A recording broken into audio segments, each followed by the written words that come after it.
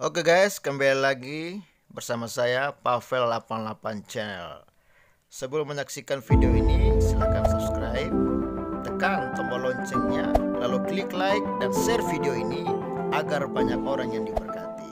Selamat menyaksikan. Ya, saat ini saya akan membacakan beberapa ya data yang saya dapat tentang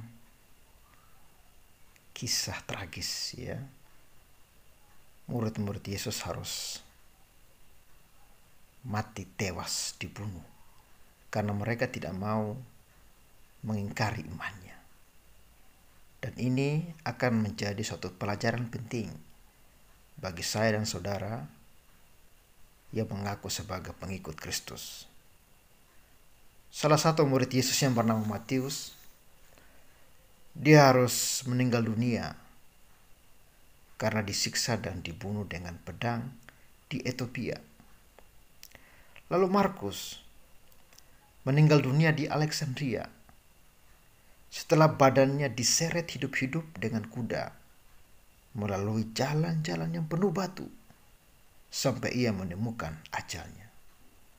Lalu Lukas meninggal dunia digantung di Yunani. Setelah ia berkhotbah di sana kepada orang-orang yang belum mengenal Allah. Yohanes digoreng dalam bak minyak yang mendidih di Roma. Tetapi karena Allah masih ingin memakai Yohanes lebih lanjut, maka keajaiban terjadi atau mujizat terjadi.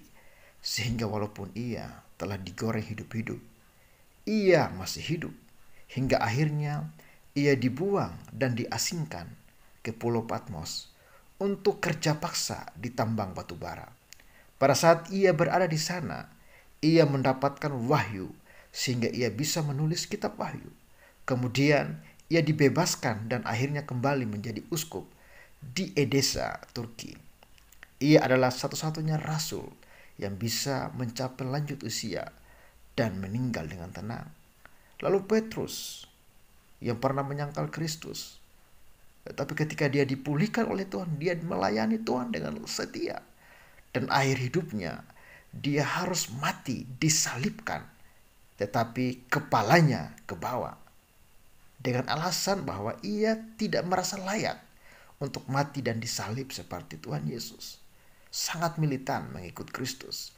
Lalu Yakobus, saudara tiri dari Tuhan Yesus, dan pemimpin gereja di Yerusalem dilempar ke bawah dari puncak bumbungan bait Allah di tempat yang sama di mana setan membawa Yesus untuk digoda. Ia meninggal dunia setelah dilempar dari tempat tersebut. Yakobus anak Sibudeus adalah nelayan dan murid pertama Yesus yang dipanggil. Ia dipenggal kepalanya di Yerusalem saat disiksa pun ia tidak pernah menyangkal Tuhan Yesus. Bahkan ia berusaha terus berkhotbah.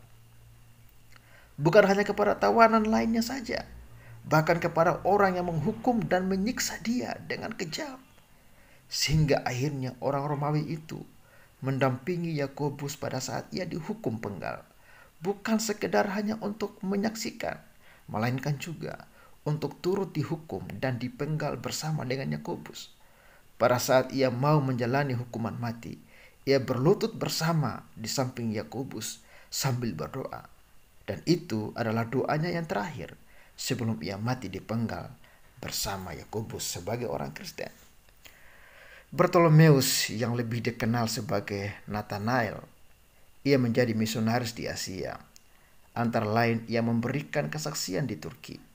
Ia meninggal dunia di Amerika setelah ia mendapat hukuman cambuk sehingga semua kulitnya hancur dan terlepas. Andreas disalib seperti Petrus dengan salib yang berbentuk X. Sebelum meninggal, ia disiksa dengan hukum cambuk oleh tujuh tentara dan diikat pada salib itu. Dengan cara demikian, mereka bisa memperpanjang masa sakit dan masa siksaannya. Seorang pengikut Andreas yang turut menyaksikan hukuman Andreas menceritakan perkataan yang telah diucapkan Andreas sebelum meninggal dunia. Ternyata keinginan dan cita-cita saya bisa terkabul, di mana saya bisa turut merasakan saat-saat disiksa dan disalib seperti Yesus. Pada saat dicambuk, tiada henti-hentinya ia berkhotbah hingga ajal. Thomas dilempar ke dalam perapian, tetapi karena masih tetap hidup, ia dihujani tombak hingga mati dan dia mati di India. Yudas saudaranya dari Tuhan Yesus dihukum mati dengan panah karena ia tidak bersedia untuk mengingkari Yesus. Matias, rasul pengganti Yudas Iskariot, juga mati dihukum, dirajam dan dipenggal kepalanya. Paulus disiksa dengan sangat kejam, akhirnya dipenggal kepalanya oleh Kaisar Nero di Roma pada tahun 67. Rasul Paulus paling lama mengalami masa siksaan di penjara. Kebanyakan suratnya dibuat dan dikirim dari penjara juga. Saudara, sahabat-sahabatku yang dikasih oleh Tuhan, ini hanya sepenggal kisah dari para rasul. Bagaimana akhir hidup mereka yang sangat-sangat tragis. Kenapa terjadi demikian? Satu alasannya, mereka tidak mau menyangkal Yesus. Mereka tetap mempercayai Yesus, sekalipun nyawa harus menjadi taruhan mereka. Bagaimana dengan saya dan saudara? Kita saat ini belum mengalami hal seperti ini, tetapi kita begitu malas bersekutu dengan Tuhan. Kita begitu malas melayani Tuhan. Terkadang masalah, pergumulan membuat kita jauh dari Tuhan.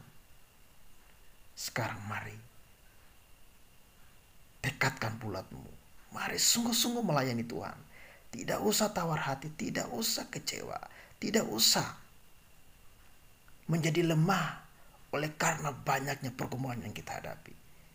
Apalagi hari-hari ini banyak anak-anak Tuhan yang harus mengalami ancaman-ancaman. Ya, tapi jangan takut. Jikalau engkau sungguh-sungguh melayani Tuhan, maka Tuhan sendiri yang akan memberikan engkau kekuatan menanggung berbagai macam dera, fitnaan, caci maki yang ditujukan kepadamu. Tetap setia dan jangan pernah menyangkal nama Tuhan. Haleluya. Amin. Shalom. Thank you.